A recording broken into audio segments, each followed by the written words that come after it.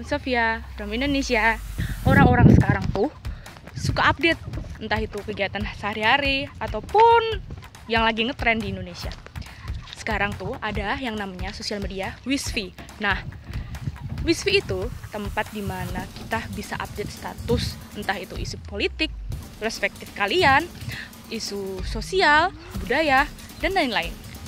Ayo sekarang harus install Wisfi karena di situ kita bisa menuangkan semua pertanyaan kita ataupun trending topik yang ada di Indonesia. Let's install Wisfi. W I S H F I E. Makasih.